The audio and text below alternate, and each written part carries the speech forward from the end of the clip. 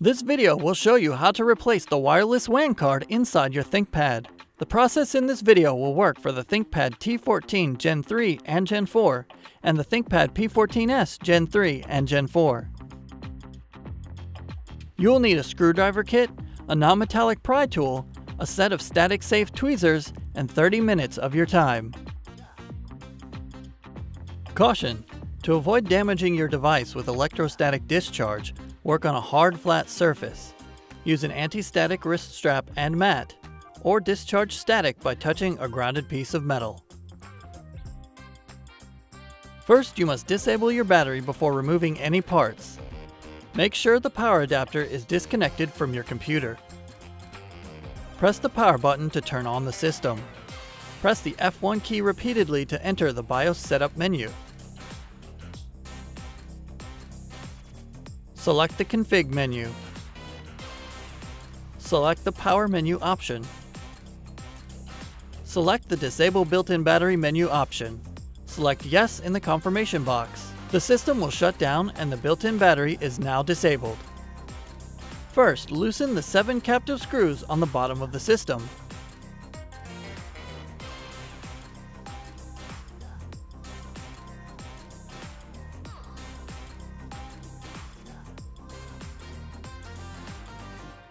Use a non-metallic pry tool to unclip the cover around the edges.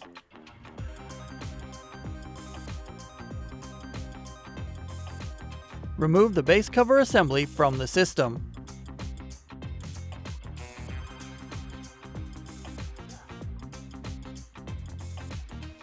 Disconnect the antenna cables from the wireless WAN card. Remove the screw that holds the card in place.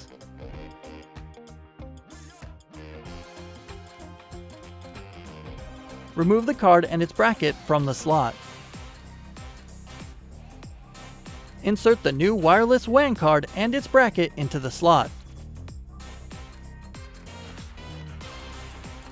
Secure it in place using the screw.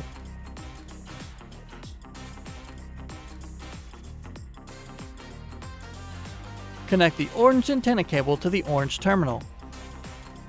Connect the blue antenna cable to the blue terminal.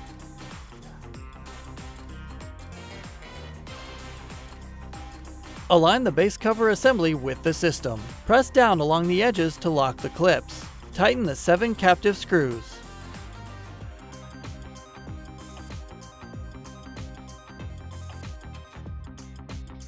Plug in the power adapter and connect it to your computer to re-enable the built-in battery.